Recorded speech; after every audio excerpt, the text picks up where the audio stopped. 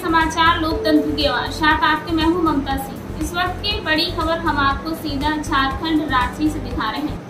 जिसमें चिनाव प्रखंड के एन एच पचहत्तर सोस में एफसीआई का गेहूँ रविवार को रांची से लोहर दगा जा रहे थे। ट्रक से गेहूँ के हो रहे थे चोरी, जो कि चोरी करते हुए ग्रामीणों लोगों ने ट्रक समेत ड्राइवर को रंगे हाथों पकड़ा।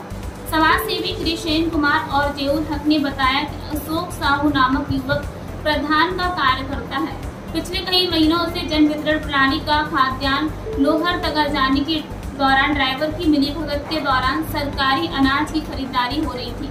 जिसमें उसके बाद रविवार को 11 बजे ग्रामीणों की मदद से चोरी करते हुए ट्रक समेत ड्राइवर को रंगे हाथ पकड़ लिया गया। इसकी सूचना स्थानीय थाना को दे दी गई है। जब तक ग्रामीण ट्रक को पकड़ते तब तक कई बोरी अनाज घर में पहुँच चुका था। जिसका वीडियो भी ग्रामीण लोगों ने बताया कि मौके पर पहुंचकर पुलिस ने गाड़ी को कब्जे में लिया और थाने में ले गया और पूरी जाँच कार्रवाई में जुटी हुई है। लाइव टीवी समाचार के लिए राजीव कुमार की फांसी।